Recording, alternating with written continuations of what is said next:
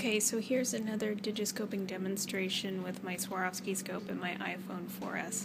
Normally I use the 20 to 60 zoom eyepiece. This time I'm going to try the 25 to 50 zoom eyepiece.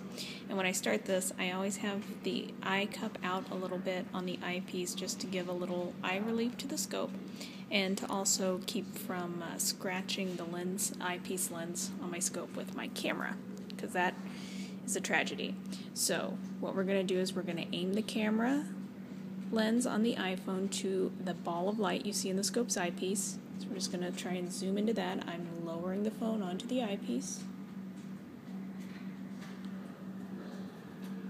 Okay. And voila. Now I'm pressing the phone screen to focus in on the Sharpie. That is a Sharpshin Hawk. Some handshake because I'm hand holding this interesting with the 25 to 50 zoom eyepiece is I have no vignetting in video. I do have it with taking photos, but that's easy to zoom in with your fingers, just like you enlarge a photo when you're looking at something on your iPhone.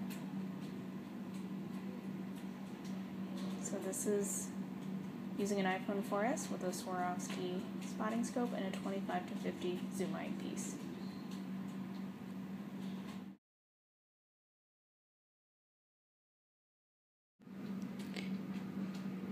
Okay, so I'm going to digiscope with the 20 to 60 zoom eyepiece on my Swarovski spotting scope. Just going to put the eye relief out just a little bit. I'm going to hand hold my phone up, but just so you can see the difference between the two lenses. So we're zooming in, or I'm lowering onto that little point of light. There is our same sharp-shinned hawk.